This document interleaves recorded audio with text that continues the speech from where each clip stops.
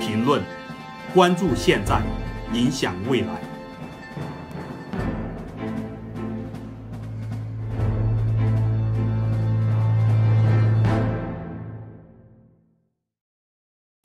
大家好，欢迎收看评论号的短视频节目，我是主持人秦伟平。今天的话题，我们来讲一下杭州纵火案背后的一个中产危机。有人会说，哎，杭州纵火案是不是过了很久的？对的，因为现在这个社交媒体比较发达啊，大家可能也比较忙，很多人可能会遗忘掉，在今年的六月二十二日，浙江杭州的一个高档楼盘啊，叫蓝色钱江，发生了一起骇人听闻的一个纵火案。那个保姆呢是呃非常。非常令人难以想象的方式，有意的纵火，导致呃女主人还有三个未成年的非常可爱的小孩子葬身火海，呃不幸死亡这样一个事件。男主人姓林，林先生。那我们如果在国内的一些呃社交媒体渠道，还能找到一些林先生在痛苦的维权的这样一个经历。我们知道林先生呃是一个呃事业有成的人，是在呃应该是在杭州浙江地区是有一个服装厂啊，他的一个童装。啊，公司呢，呃，经营效益不错，他那套房产都是价值两千万的，应该算是一个标准的一个中产阶级，或者说，呃，是一个比较富裕的人群。那即使这样的一个家庭都无法保证自己，呃，老婆小孩子这个安全，这个事情确实引起非常多的一个警惕。除了大家是在都在痛扁或者在痛斥这个保姆的无良的时候呢，其实我们发现，根据林先生的一个，呃。维权的经历，我们发现其实背后有非常非常多的猫腻。我们知道，呃，这个犯犯罪嫌疑人或者犯罪分子，这个保姆，他有意的纵火、故意杀人，当然是要承担第一责任。但是政府还有，呃，这个开发商绿城集团呢，都把责任推给别人，他们自己有没有承担责任呢？我们根据蓝色钱江这个小区的业主，还有一些，呃，记者勇敢的记者披露出来的信息来看，蓝色钱江这个小区，它的一个消防栓。消防栓的算计是设计是完全不符合规范啊，藏在很隐蔽的一一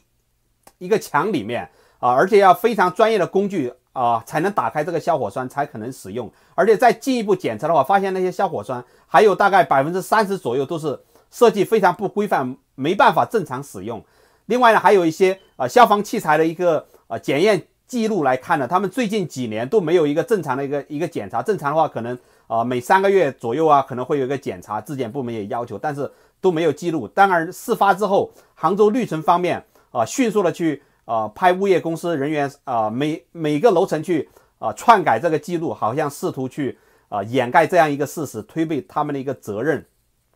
我们知道，开发商对于呃广大的业主来说，都是属于财大气粗的，跟政府也是有千丝万缕的关系。那这里面呃，杭州绿城集团物业。呃，一个是在消防设计上是有严重的缺陷，应该承担责任。在那个火灾之后的第一现场，他们也并没有第一时间，呃，包括他们消防管理部门并没有第一时间去救人，而且，呃，导致说他们啊，最终是母子母女四人呢是啊葬身火海，他们应该也承担非常重要的一个责任。但是林先生维权的一个记录显示呢，他遭到非常强烈的打压啊。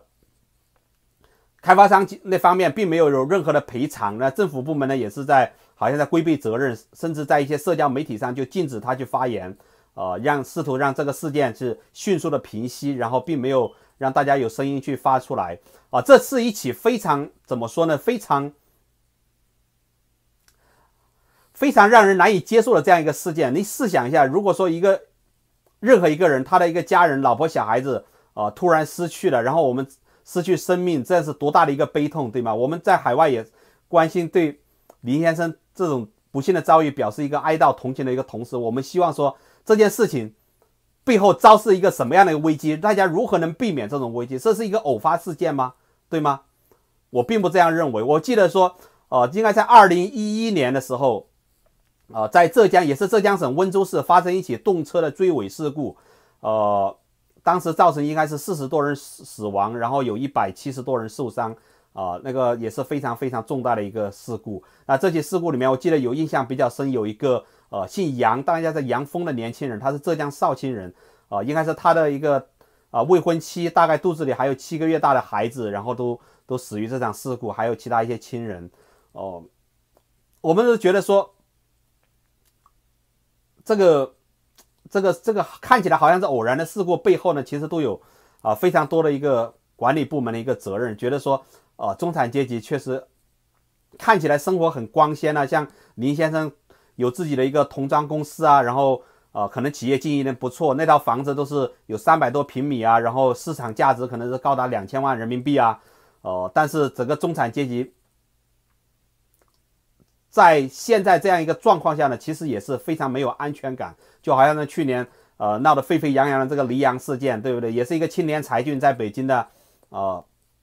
确实被嫖娼，呃，都被活活的打死这样的一个事件。呃，我希望说这件事情呢，不要像新闻一样的很快就消失了，消失在大家的脑海里面。特别是我们中产阶级要深刻的认识到这背后的一些呃问题，对不对？这背后有哪些社会问题，对不对？呃，我们应该如何去避免现在这个状况之下？呃，就好像我预测的这个中产，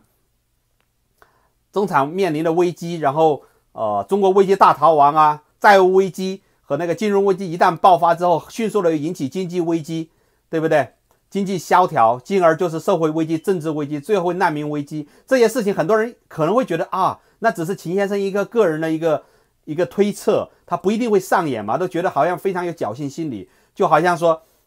呃，有人可能会想到说啊，这个林先生，这个杭州这个纵火案确实是很倒霉、很可怜，啊，很值得同情，但是是一个个案，未来并不会。如果有人看过我的中国危机路线图的话，其实我有非常强烈一个预测，在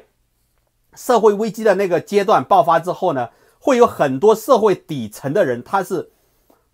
变得非常之暴力，然后呃为所欲为，他就是没有办法去。还要用用道德和良知，用法律去规范他们的行为。我当时预测说，呃，如果城市的水电，包括一些垃圾处理这些公共服务都被停滞的时候，遭到破坏的时候，整个城市就是面临一场非常大的危机。可能现在生活大部分人可能生活在城市里面，这个危机确实是非常非常现实。那好像这次杭州纵火案，我们知道，那有人如果恶意的去纵火呢，可能是一个非常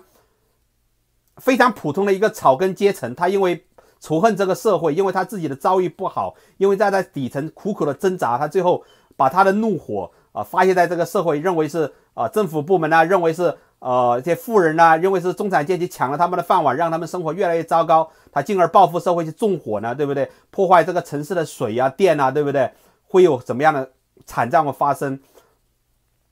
当然我看过知道，都我有预测说非非常悲惨的一个情况，可能有上千万人死伤，哦。到这里，我也再次提醒说，这种这种危机并不是说呃空穴来风，大家应该是要切实的保障自己的利益、生命财产安全。就好像这杭州的纵火案，我们并不能说让这个事不了了之。其实黎阳的这个事件已经是不了了之了，对吗？呃，已经很少有人提起，对吗？当事人的责任基基本上也没有得到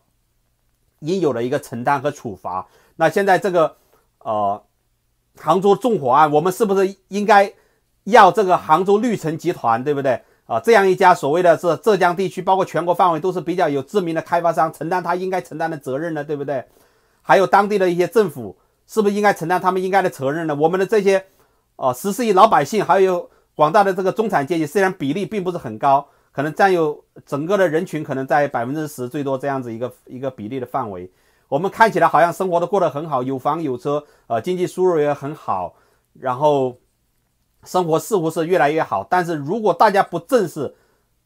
这样一场危机的话呢，林先生的遭遇可能就是我们自己的遭遇。对于做企业来说，像浙江绿城，对不对？他们经常在吹什么自己的一些啊什么社会责任呢？可能会向一些呃慈善机构捐款呢，好像表达自己关心这个社会。但是我在这里我要说的是，一个企业。你正常的一个表达你社会责任的一个方式，就是应该把你的产品和服务做好。大家记住，把自己的公司的产品和服务做好，你就是尽到你的社会责任。我们中国多少悲剧，多少事情都是这些，我们想花钱付费买到的这些产品和服务是非常糟糕的，对吧？这些毒食品、毒医疗、毒空气，对不对？几乎是大家都没有保障。说的老百姓说通俗一点，叫互害社会。你害我，我害你，大家真的是非常糟糕。这个法治建设也也也不行，然后大家的道德水准也在下滑。我希望说，这个杭州纵火案背后，我们每一个中产阶级，甚至每一个中国人都应该思考这背后的危机，这个来源是什么？我们如何避免？靠侥幸心理是没有办法避免的。我们也会持续关关注这起事件，我们也会支持林先生。我希望如果林林先生有机会看到这这期节目的话，我希望跟我取得联系，我们会进去进一步的采取呃不同的方式来声援支持林先生去维权。谢谢大家收看本期的一个特别评论节目，我们下次再见，谢谢。